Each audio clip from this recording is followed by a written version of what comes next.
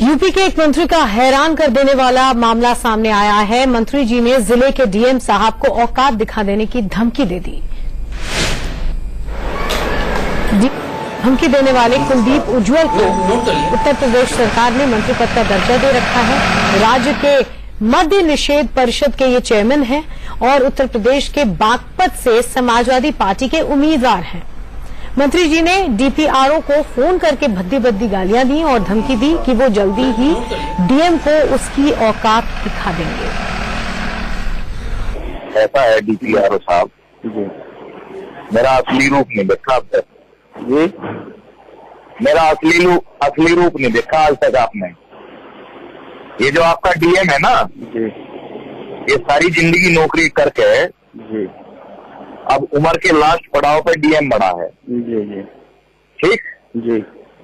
मैं सोमवार को आ रहा हूँ कलेक्ट्रेट में। जी। मैं स्टूडेंट लीडर रहा हूँ यूनिवर्सिटी का प्रेसिडेंट रहा हूँ। जी।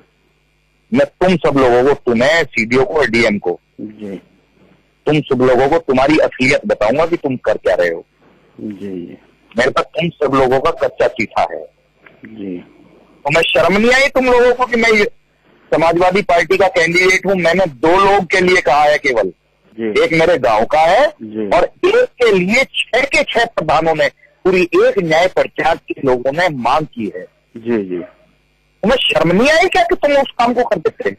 वो मंत्री जी सिर्फ़ मेरे बस का होता तो कब का जारी हो गया था। अब देखना क्या- तीन तीन नोट सुनो मेरी बात। आप ये जो ये जो सुनो ये जो तिवारी है ना डीएम। जी जी जी। को बता देना कि इसको औकात बताऊँगा कि ये कैसे जमुना का रेट उठवाता है। मेरे पास सबका कच्चा चिट्ठा है, मेरे पास रजिस्टर है। एक आदमी नहीं बच रहा जिसका नाम ना हो उसमें जिस जो रेत उठवाने में और खनन में पैसा लेता हो। ठीक है ना? अब देखना क्या तांडव मचाऊँगा। तुम्हारी अगर नहीं औकात बता दी ना एक एक आदमी की। कुलदीप उज्जवल, एक ईमानदारी का नाम है, एक सच्चाई का नाम है।